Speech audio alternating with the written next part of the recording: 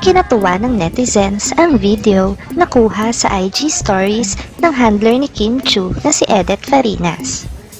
Makikita sa video na sinorpresa ni kapamilya star Kim Chu ang mga young star na sina Maymay Andrata at iba pa. Sobrang kinilig nga sila sa ibinigay sa kanila ni Kim Chu na gift card sa isa sa mamahaling store outlet sa Amerika. Napayakap nga silang lahat sa kanilang ate Kim at hindi makapaniwala dahil malaking halaga rin umano ang nilalaman ng gift card na ito.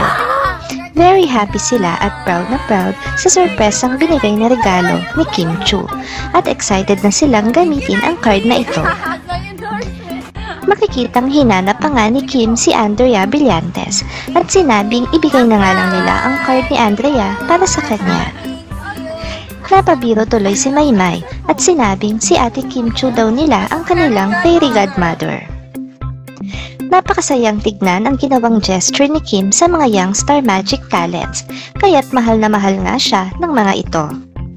Marahil ay nagbigay lang si Kim ng magandang example para sa mga susunod na generation ng mga kapamilya stars.